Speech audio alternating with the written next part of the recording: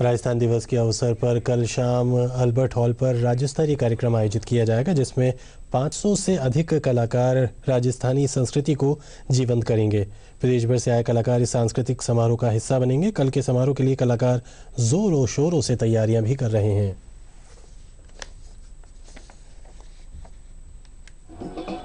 Hare Hare